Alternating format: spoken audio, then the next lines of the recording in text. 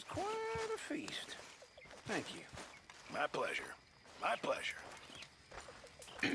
so tell me, uh, you ever miss the sea?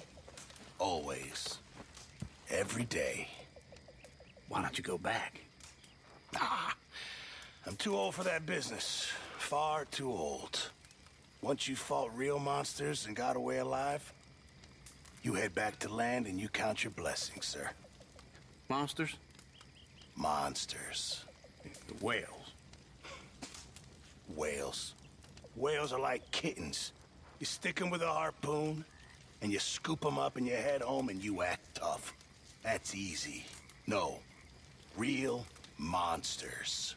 Sharks. Sardines. Sardines, that's ridiculous. Sardines.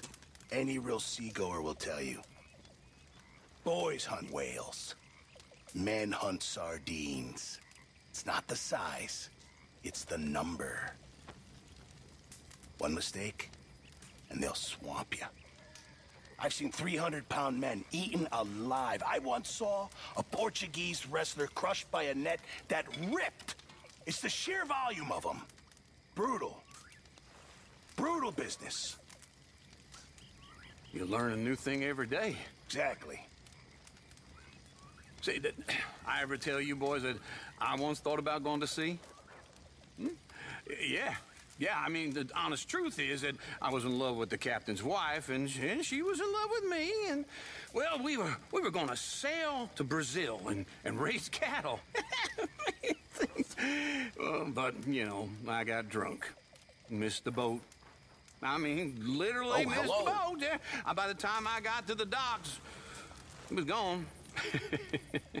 Happens. It happens. I reckon I'll take my chances with a sardine over a whale. Ah. And that is where perception and experience collide. Okay, Mr. Pearson. Hello, sirs. Hello. All right, well, I should be getting on. Okay.